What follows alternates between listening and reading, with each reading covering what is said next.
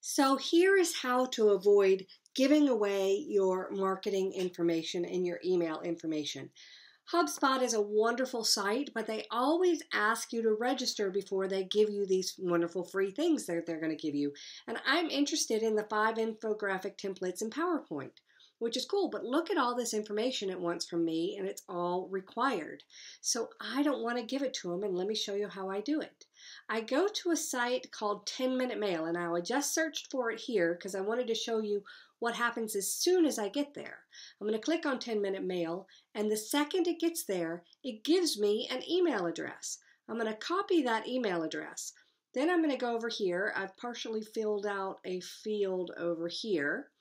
And uh, first name, nope, nope, you asked for too much info. That's what I did. I showed them. Um, and I put that in there. And then I'll press download now. Now the deal is, as soon as I did this, it gives me the download file. Um, but when I go back to 10 minute mail, if it had said, come back here and check your messages, then all I have to do is come back here and if HubSpot sent me a message, I don't think they did, but if HubSpot sent me a message, it would be right here. And it says the email address will expire in 10 minutes is six more minutes and you can get more minutes.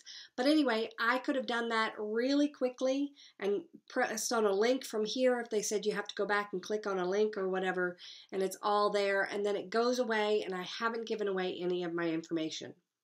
That's just a quick tip from your nerdy best friend